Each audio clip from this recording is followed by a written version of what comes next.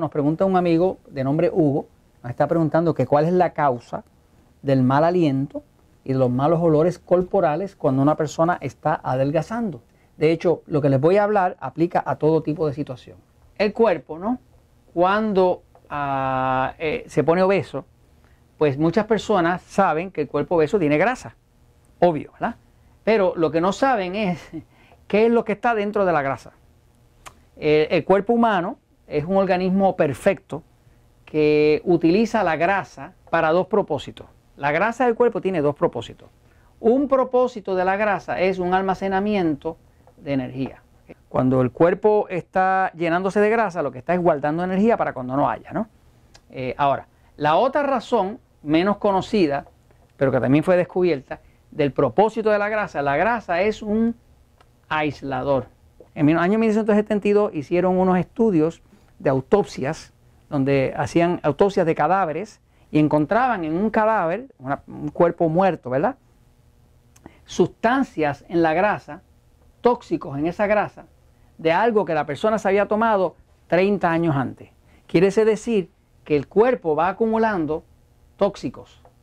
Cualquier tóxico que sea venenoso para el cuerpo, una de las estrategias del cuerpo humano para defenderse de un tóxico es que si aquí hay un tóxico, el cuerpo va a tratar de sacarlo por la orina, sacarlo por el sudor, sacarlo por la excreta, por algún lado va a tratar de sacarlo. Y si no lo puede sacar, la última alternativa que le queda al cuerpo es construirle grasa alrededor. Cuando le construye grasa alrededor, lo encapsula. Cuando lo encapsula, se protege de él. Por ejemplo, la grasa del área abdominal es una grasa que no es blanca, es amarilla. La grasa de más arriba en los brazos, si usted hiciera una autopsia, la vería que es una grasa blanca, blanca. ¿Por qué esta es amarilla y esta es blanca? Bueno, porque esta que está aquí es la grasa que más tóxico tiene. Es la grasa eh, inmediata que usa el cuerpo para encapsular, ¿no? Así que una persona que tiene un problema severo de obesidad va a tener, además del exceso de grasa, va a tener inclusive un, un exceso de tóxicos. ¿Qué pasa? Cuando usted empieza a adelgazar y usted activa el metabolismo, pues la grasa se va a empezar a romper. Cuando la grasa se rompa, se van a liberar esas toxinas.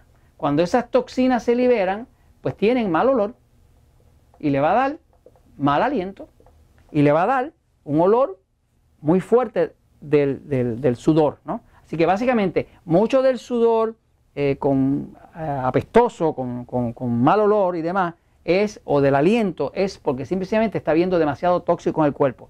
Un área principal es que el intestino, ¿verdad? El intestino tiene dentro una bacteria buena que se llama la flora intestinal. Muchas de las personas que se han usado por muchos años antibióticos, pues han perdido su flora intestinal. Esa flora intestinal el cuerpo la utiliza en, gran parte para limpiar las paredes del intestino, limpiarla, ¿no? Cuando ya no hay flora intestinal porque hubo antibióticos, pues ya no puede limpiar. Y ahora todo eso se refleja en un mal olor eh, y demás. Ahora, ¿qué se puede hacer? Bueno, una de las cosas que se puede hacer es continuar adelgazando pero lo otro que se puede hacer es que usted puede suplementar su cuerpo si tiene muy mal olor. Este, hay dos cosas que puede hacer. Una es el bicarbonato de sodio, usado como uno de los episodios que les cuento, que el bicarbonato de sodio se usa hasta para el cáncer, ¿no? Lo puede utilizar con agua y eso tiende a neutralizar esos malos olores y esos tóxicos. Y lo otro es eh, eh, lo que llaman clorofila.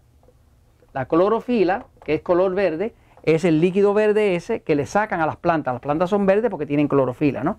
Así que usted puede conseguir clorofila, viene líquida, viene en cápsulas, lo que sea. Tanto la clorofila como el bicarbonato de sodio tienden a neutralizar esos ácidos y, y eliminan el mal olor, ¿no? Porque es como un desodorante natural. Porque la verdad siempre triunfa.